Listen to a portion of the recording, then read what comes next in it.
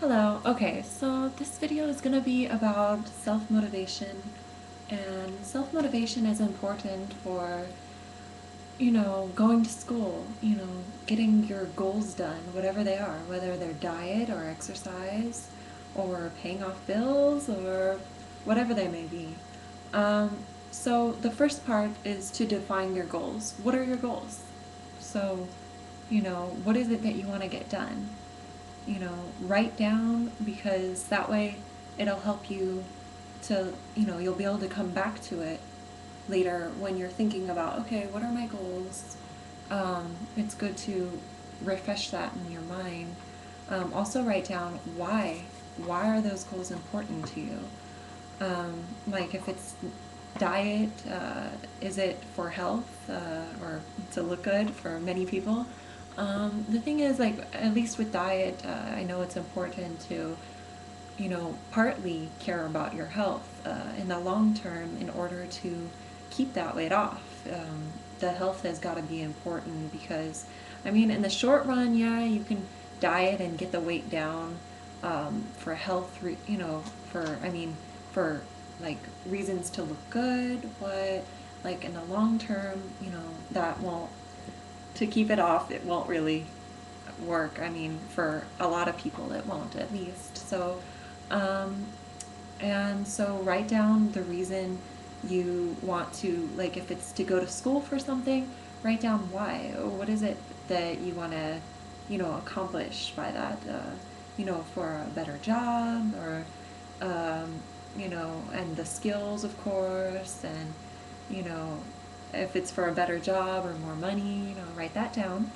And um, also, uh, you know, you're going to want to maybe have reminders of your goal, like around you, things that you see, like visibly, such as like pictures. And, you know, you might want to have a note card. Maybe you want to uh, remind yourself. Um, that will keep you motivated um, especially like when it gets hard, you're gonna need good reasons why you want to, you know, accomplish this goal. Why is it so important to you? What's gonna keep you like going when it gets hard? Like I know for uh, diet or like exercise, I know a lot of people at first it's just like a New Year's resolution to exercise and eat healthy and diet and all this stuff but there's a large percentage by like six months that are not working out because they've lost the motivation to do that. And um, you know there's got to be something that motivates them enough to keep going because you know there's going to be days that they're you know they don't feel like working out. But i know for that that's like you gotta kind of make yourself sometimes like work out. It i mean as long as there's not you know some like health limitations like because if there are then you definitely i mean you want quality of life you know? That's the reason that many people work out um, you know summed up reason at least. But um, if you work out when you're injured or your health isn't so good say if your heart is weak you might not want to be working out because um, it might cause bigger problems, uh, more damage to, say, your heart or whatever the injury is. Um, so be careful with that.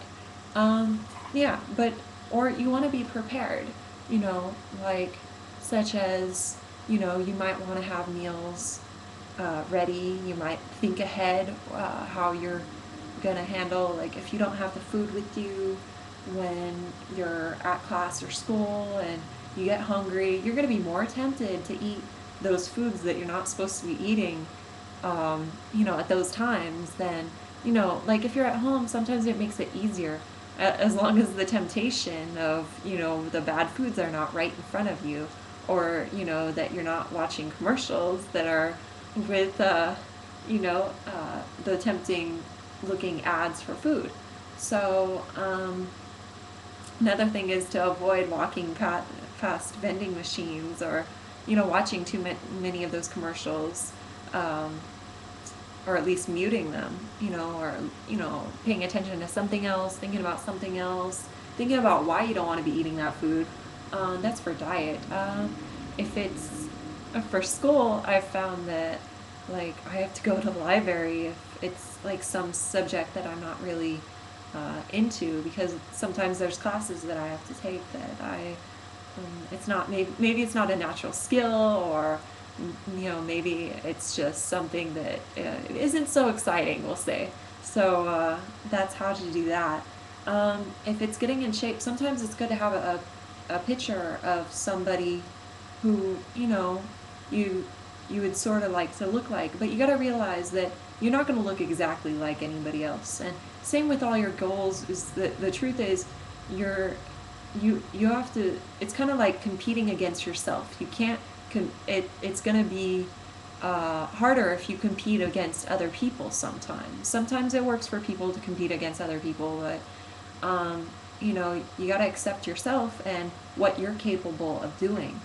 You know sometimes you're more capable of doing things than other people. So um, uh, another very important thing about your goals is that you're going to need to make sure that they're realistic. They need to be realistic goals because if they're not, then you're going to be disappointed uh, with you know being able to do it. Um, you know, you're not going to be able to maybe. Um, another thing, so you might want to have a, a picture or pictures around you or things that remind you of your goal. Have maybe a note card. Look at it. Uh, you know how many times you need to do it, whether it's once a day or a couple times a day or a couple times a week um, to remind yourself of why you're going towards that goal. And um, I'm looking at my paper that I wrote down some things. Um, you know, never quit if you experience a setback or frustration um, because there's going to be, you know, usually, you know, you have a goal for a reason, you know, it, maybe it's something that's kind of harder to do sometimes, and that's why maybe if it's a long term goal um, instead of just a short term goal, you know, it's going to be, there's going to be some setbacks or, you know, it's going to get hard at some point. And you got to think of like, what, what are you going to do when it gets hard? Uh, if you have a plan, then you're going to be more able to handle uh, those times. You're going to be able to remind yourself why the goal is so important. Sometimes you have to take some time off from the goals, like say if you get sick, you can't exercise, or or uh, or you can't go to school or something. But do the best you can when you're able to, and you'll get towards that goal. Um, uh, also, think about what you'll do if certain setbacks, like if you know certain setbacks are bound to happen, think of what are you going to do when you know, that happens or those things happen or, you know, just think of, you know, ways to get around it if you're able to. But don't let yourself be afraid or paralyzed. Like, oh no, I won't be able to do this goal because it's going to be raining outside. I won't be able to jog. You know, like, you know, if you go to a gym, you can do that inside. Or if you're walking in a mall, you can do that inside, even if it's raining, you know. So you got to be careful not to let yourself, you know, uh, make excuses. Another, uh, okay, so the last thing that I would say is that with a goal, there needs to be, you know, sometimes small steps that you have to think of, um, you know, that lead to that goal, like, you know, getting accomplished. So, um, you know, and when it's a big goal, then you're going to definitely need those small steps um, that it'll take up to the, the goal. And um, that's all I'm going to say for now. But, you know, whatever goals you make, um, make sure that you, you know, they, that they're realistic goals, you know, have steps that lead up to those goals. Make sure you know why you're doing that goal. And good luck. Bye.